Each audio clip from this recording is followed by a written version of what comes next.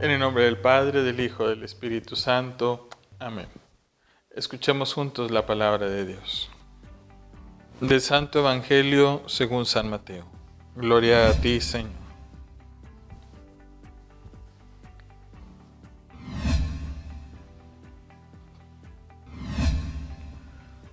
En aquel tiempo Jesús dijo a sus discípulos, pidan y se les dará, busquen y encontrarán, toquen y se les abrirá.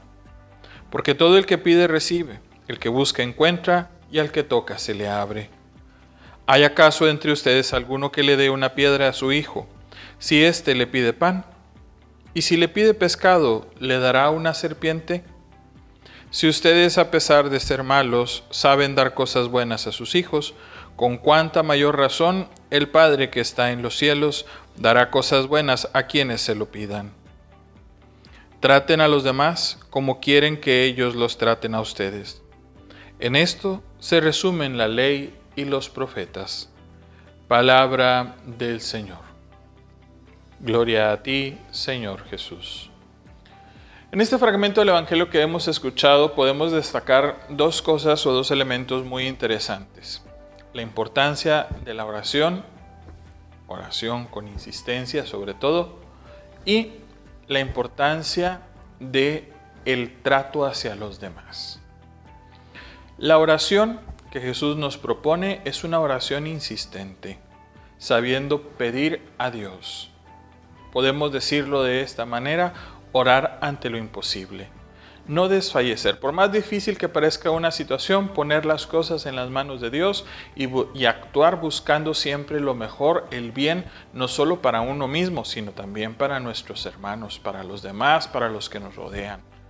La oración con insistencia debe de tener una causa justa a final de cuentas para que sea, llamémoslo así, bien escuchada por Dios. Y no quiere decir que no escuche nuestras oraciones, sino que a veces pedimos necedades o cosas que no nos sirven de nada, o pedimos cosas que no tienen un buen provecho ya no solo para nosotros, sino también para nuestros hermanos. Me pongo a pensar, por ejemplo, cuando oramos por la salud de alguien, a veces oramos con egoísmo, pidiendo que una persona se salve de la muerte. Y digo, ¿por qué digo con egoísmo? Porque a final de cuentas, la muerte no es algo malo para nuestros hermanos que tienen su fe bien puesta en Dios. Es un paso más en la gran aventura de la vida y es ir a la presencia de nuestro Dios y Señor. Y a veces le reclamamos a Dios porque no escuchó nuestra oración. No es que no la haya escuchado, sino que ya no era tiempo, ya no era momento. Era el momento para que nuestro hermano o nuestra hermana fuera a su encuentro. A nosotros nos debe de quedar la tranquilidad de que hicimos lo que estuvo a nuestro alcance y de que supimos orar a Dios confiando en Él. Pero esa confianza también se debe demostrar en aceptar su voluntad. Segundo, la cuestión del trato hacia nuestros hermanos. Jesús nos dice en una frase muy sencilla, traten a los demás como quieren ser tratados ustedes. ¿Cómo es nuestro trato hacia nuestros hermanos? ¿Qué hacemos por ellos?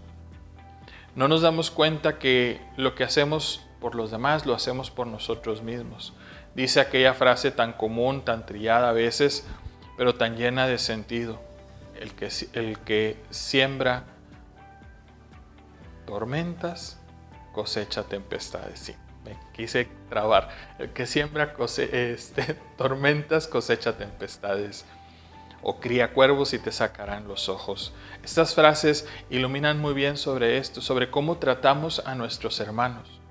Esmerémonos en tratar mejor en buscar ser verdaderamente hermanos los unos de los otros, en buscar ser en el mundo verdaderamente testigos del amor de Dios que derrama sobre cada uno de nosotros, para que así seamos ejemplo de oración y de buen trato.